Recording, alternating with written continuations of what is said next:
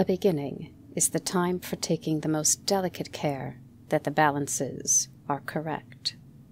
This every sister of the Bene Gesserit knows. To begin your study of the life of Muad'Dib, then take care that you first place him in his time. Born in the fifty seventh year of the Padishah Emperor Shaddam IV, and take the most special care that you locate Muad'Dib in his place, the planet Arrakis. Do not be deceived by the fact that he was born on Caladan and lived his first fifteen years there. Arrakis, the planet known as Dune, is forever his place. From Manual of Muad'Dib by the Princess Irulan